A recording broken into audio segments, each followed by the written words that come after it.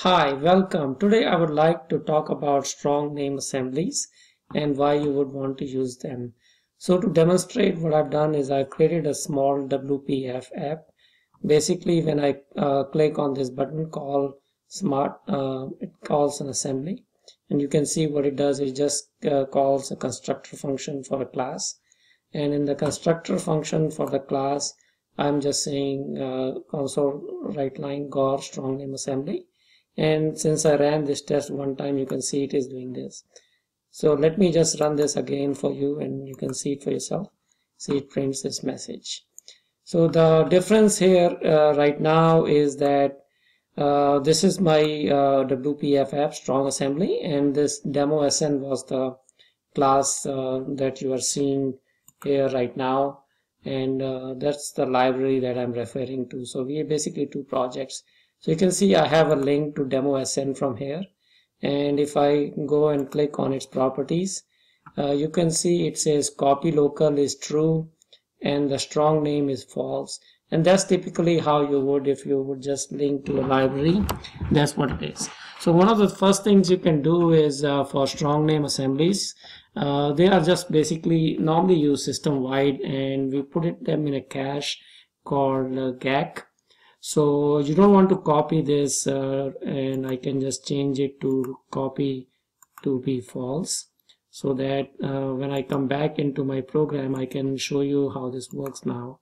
So if I do rebuild all and if I just try to run this and say call smart uh, SN assembly you can say it does not find the assembly. And the reason it doesn't find the assembly is because if uh, we had uh, here uh, showing that it's not being copied. See here it says copy local is false. And uh, you can easily see this. If you go into your debug directory here uh, you will see that it's not really being copied. So I'm going to just copy the full path in Explorer and uh, just kind of show you where this is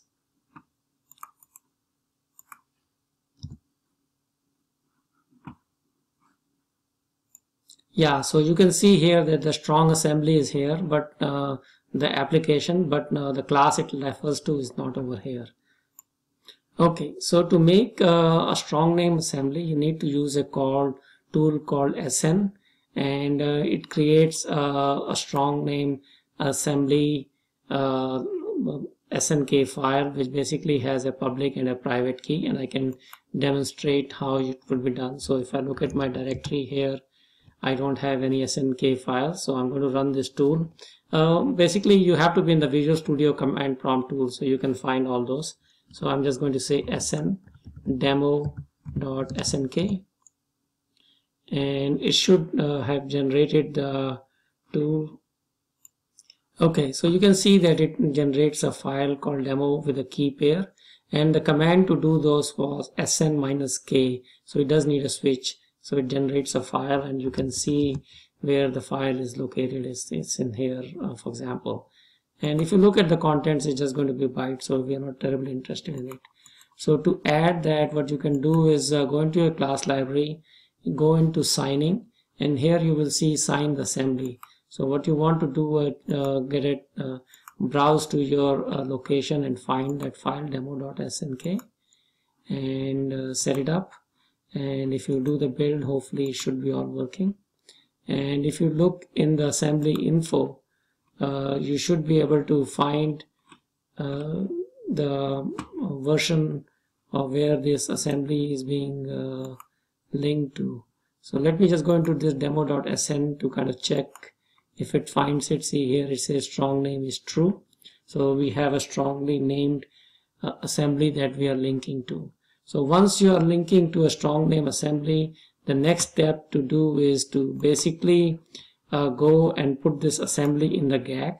And for that, you can use a command called get util. And I'm going to show you how to use this.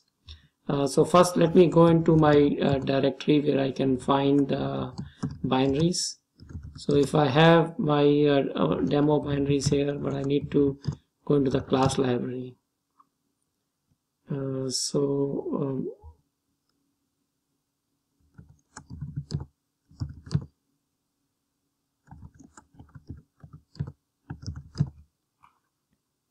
okay. So I am in the area where my DLL is. So to add that to the GAC what you can do is say gacutil slash I and then you just give it the name of the DLL so it says assembly successfully added to the cache and the cache of the GAC would depend on where uh, you are uh, so for Microsoft.NET uh, 4.0 is basically going to be under a GAC MSIL and if you click you'll see a folder called demosn and uh, so this is from an earlier run. So in the newer run I can see it did create a file here which is the DLL so now if I uh, try to run my uh, project here uh, this one the WPF it should be able to find it. So if I say uh, clear it so you can see the output here. Call the strong name assembly. See here you found the strong name assembly. So it's very easy to uh, put your uh, common uh, DLLs in the uh, GAC and you can have various versions as well. And so this should be an easy way to uh, use strong name assemblies you want to know more you can go to my basically my website and search for many different things for example including programming but if you want to search for uh, some kind of an explore into angular you can go there as well. And thank you for watching this short screencast and you have a great day